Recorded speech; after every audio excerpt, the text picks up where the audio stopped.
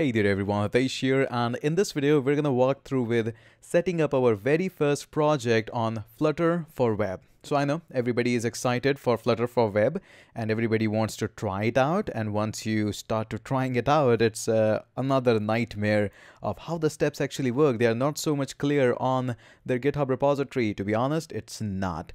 So in this video, I'm going to walk you through the step-by-step -step process and it's a hell lot of a process. Some of these steps you definitely can step skip here, but I don't recommend that. So let's get started and uh, create our very first project on the Flutter for Web. A word of caution, Flutter for Web is newly born at the time of this recording of this video, so there is a whole lot of errors and bugs that you're going to face while creating the project as well. Some of them I'll mention as well. So let's get started and look out for the very first project and you might want to take out a copy and a pen as well to note down all these steps because there are a lot of them. So first and foremost, what you need to do is you need to get Dart SDK. Now, some of the commands that we run for the web are actually dependent on the original Dart SDK, so you need to have that as well. Surely Flutter do comes with it, but eventually you're going to need that in one or the other project. So it's better to have it right up at the very start. So go ahead and visit this get the Dart SDK and you can just visit this URL as well, dart.dev, and you can just pause the video and write this URL. So again, the options are available for Windows, for Linux and Mac. For Windows, it's just click, click, agree, I agree, next, next. Okay, there's installer here, so just go for that. For Mac guys, again, we do have brew to save our life. We can just run this command brew tap dart uh, lang. Just copy paste this first command onto your terminal. Then after that, copy paste this second command on the terminal and just don't worry about these rest of the commands. You don't need that. Okay, so this is your step number one. Install the Dart, whether you're on Windows or Mac. Okay, now once you are done with that, what you need to do after that is you need to install Flutter as well. The Flutter installation is relatively simple. All you need to do is get this SDK, place it somewhere, maybe on your desktop or anywhere, and then we have to update our path. Now, updating the path is a little bit different for Windows and Mac. For the Windows guys, go into your environment variables and just update your path. Mac guys, just follow along with me. All you have to do is go to first type cd and hit enter so that we can be on to your root folder. The tilde sign is actually a symbol of it. Then we have to do, we are going to use the classical old my favorite vim. And then we're going to open up a file which is says dot bash underscore profile. Now, before you hit enter onto this one, please don't hit enter as of now. You need to go and look out where the Flutter is. Okay, so my Flutter is actually on my desktop. So I'm going to say Flutter. There we go. If I can find it. No, it's not here. It's on desktop. So I'm going to go onto desktop and then Flutter and then I do a ls. Notice there's a whole bunch of things in my Flutter. One of the directory is bin. So you should be able to see this bin and whatever the path is right now where you can see this bin, you need to actually copy that. So whatever that path is, you can find it out by pwd, which stands for present working directory. And my path is uh, slash user slash studio desktop flutter. And then I'm to write slash bin and what's inside the bin, we don't actually need to worry about that. So again, Make sure you copy paste this path somewhere, uh, maybe on your uh, mind or maybe on a text pad, wherever you like to have it. Okay, now let's go back here. We're going to open up this Vim and we're going to say dot bash underscore profile. So you might want to use tab here because Vim actually creates a file if one doesn't exist. Make sure you have run the cd and hit enter. Once you hit enter, you're going to see you want to paste this uh, thing here, uh, something like this. So I'm going to press first I. Without pressing I, you are not able to go into insert mode and you will not be able to write anything. So here, the lines that you see, uh, these are the lines that you have to copy and paste. Okay, so let me tell you what exactly you have to write. First and foremost, write this export, then space, then capital path, equals, then you have to write dollar path, colon, and then the exact path for your computer, not mine, yours. Mine is actually slash user, studio, desktop, flutter, and then bin. Okay. So this is the first thing that you have to do. Don't worry, we're going to come back here and I'm going to walk you through for the second path as well. That is also important. We're going to come back onto this file again. Right now, you just have to write this first path so that our Flutter path is set. Okay. Now press escape, colon, WQ to write and quit, hit enter. Okay, so this is your Flutter setting, your Dart setting be both done. These are both prerequisite for this thing here. Now we're going to go ahead and move on to the Flutter web thing actually. So this is the Flutter for web and the GitHub is pretty simple, flutter slash flutter underscore web. Okay. So here, if you'll go up a little bit here at the bottom, you're going to notice that here is the getting started guide for Flutter.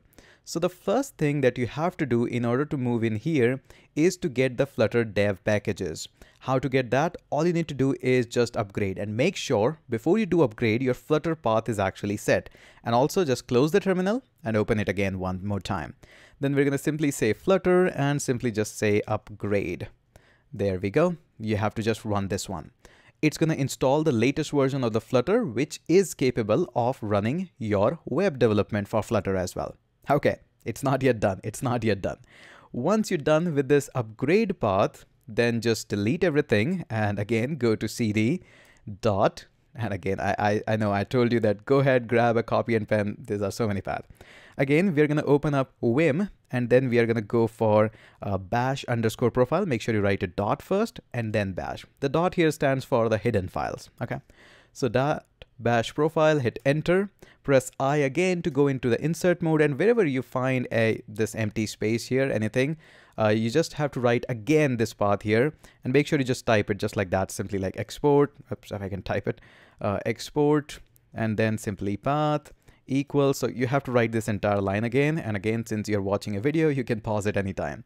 So all you have to do this time you have to write export path dollar path colon and then entire path where your flutter is and then after that instead of the bin you have to write dot pub space pub dash cache slash bin.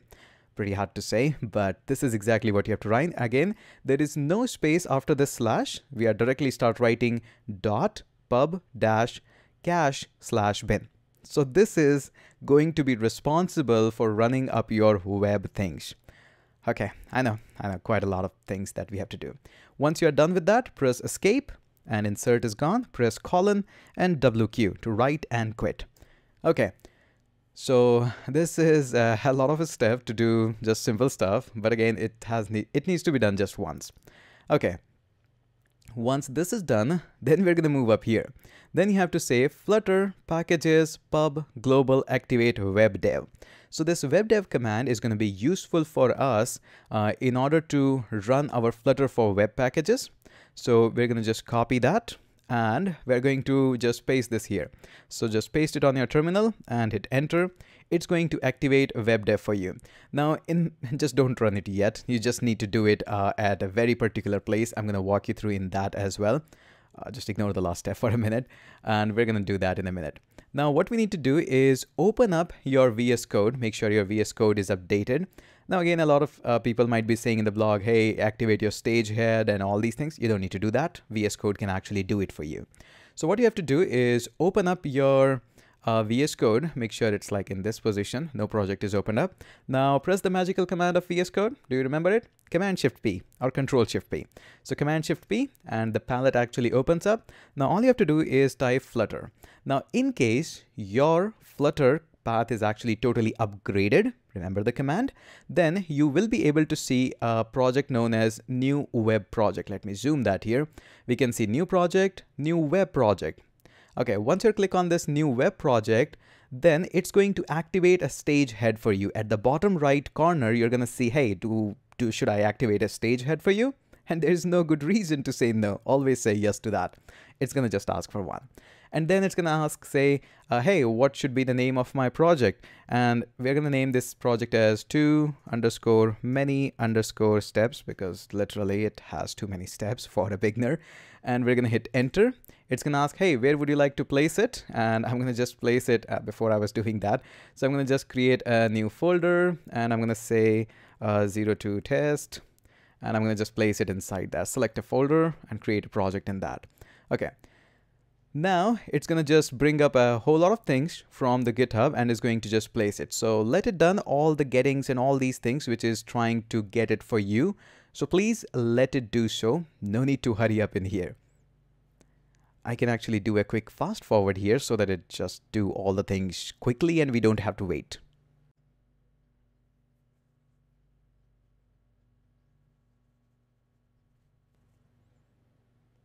Okay, so finally it's done, uh, bringing up all the things. It might give you a message, Flutter web app project is ready, but it's not. It's not yet ready.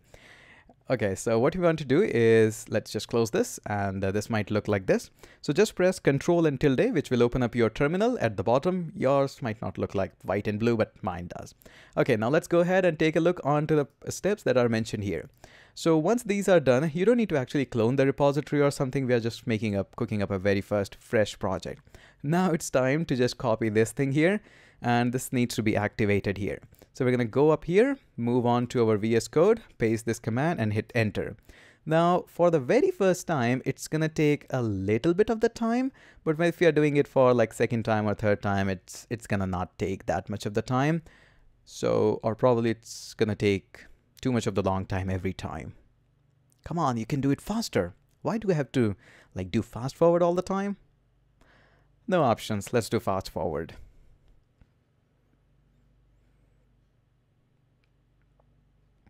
Okay, so it was done. Relatively decent time. Okay, let's move on to the next step. What is the next step? Now the next step is uh, saying, hey, you need to go inside the project and blah, blah stuff. We are already into the project, don't need to do that. Now the next thing is Flutter packages upgrade. So we need to upgrade all the packages. And if you're running up onto a regular terminal, this is to give you these kinds of error messages, kind of error messages on the red. But again, on the website also, they are mentioning that, hey, this is to show an exclamatory sign and all of that. So no need to worry. Just copy this command, which is flutter packages upgrade. Copy that. Go ahead, move on to here, hit enter. Now it's to upgrade all the packages in mm, too many steps. I should have written two, but it's two. Anyways, uh, I guess we don't need to do fast forwarding and we can look out to the next step. Till the meantime, it just downloads all the packages. Okay. Now, once this is being done, the final step is to simply say web dev serve. But again, instead of saying web dev serve, if you go a little bit at the bottom, it says some other commands as well, which says, hey, if you want to get stateless hot reload in web dev, you might want to run the command instead of web dev serve, just add a couple of flags like dash dash auto restart and I love hot reload. Whether it's React Native, Flutter, I just love it. So we're to just run this using this command. So we're to copy that. And now we're to go again. Notice these uh, into exclamatory and orangish. These are not errors. They are just there and they don't do anything. We're to paste this here. Webdev serve dash dash auto restart, the command that we copied. We're to hit enter. And now it's to connect on to the web. Where is my browser? And it's going to mention also that, hey, we are just building up the entire project and all these things. I'm going to show you a couple of interesting things on the, onto the web as well. Come on, you can do this. Or do, do I need to do fast forward again? Yeah, there we go. So it says the project is now running on localhost colon 8080 and it's just doing all fine stuff. So let's go ahead and move on to localhost 8080. So we're going to go up here and we're going to say localhost, not 4040. That's from another project, 8080. And come on. Are you going to serve it? Yep, looks like it's gonna serve it. And there we go. So our classic Hello World project, Flutter demo project, which says debug and Hello World and all those magical stuff. Let's go ahead and try to take a look, couple of things here. Definitely not interested in index.html. Regular stuff, let's go into lib main.dart. We have a whole lot of comments, which nobody's interested. So first and foremost, we always go up here and we just say, hey, you know what? I don't like this right banner. So we're going to turn that to false. Okay. And then after thereafter, uh, definitely don't want to write hello world instead of write. We are going to write something else. So just go ahead and write your name. That's the first mark you want to leave on this Flutter. So we're going to do that. If I can write my name, there we go. And uh, that looks good. Good for a moment. So I'm going to save that. Okay, let's go onto the web and it auto reloads. I love that. And also, I don't like a couple of stuffs in here. The blue is, uh, I'm actually bored from the blue. I've seen too many blue projects, so I'm gonna go for orange. And uh, yeah, not looking so great, but uh, okay. So now we're gonna go a little bit at the bottom, although it's really hard to find anything at all in this comment section. Probably the right place is here. So we're gonna simply say not, not here. We're gonna go up here Uh, yeah, that's the right place. So we're going to say floating action button and you're going to notice one strange thing here that we will not get much of the suggestion. Probably the Dart plugin and the Flutter plugin in the VS Code is not yet ready to throw us uh, some of these suggestions. So we have to write it manually. And trust me, that's not fun at all. So we're going to say floating action button. Then we go like that. On pressed, we're going to fake it by just saying this, guys. And uh, let's just save it see there we go. A nice uh, little twiggly twiggly button. I hope you can see that. Uh, that's a full web page so there we go. Now one strange thing that you're gonna notice that icons are not yet recognized. So I'm gonna say child. I'm gonna say icon. It's not gonna suggest anything. Icons dot add. And when you do so uh, it gives you a square box which is not good. And even on anything else like thumb underscore up that's also an icon. It gives you the same square boxy stuff, so probably you don't want to use it right now, probably later. And then we can actually go for text, which is gonna be okay. So there we go. So okay does appear. So yeah, it's it's having some of the stuff. Now other thing that confused me a lot that hey, this is gonna be a website. So obviously Google will be crawling my website, but when I right click and look onto this view page source, I see nothing in nothing in the body, absolutely zero because it's just rendering my project, canvassing my project. So how are you going to check out that whether things are going on, like where is my content, what is my content, how you're going to analyze that? Probably Google has the answer for that. But again, it's a little bit awkward. You might also want to right click and inspect that to check out how things are going on.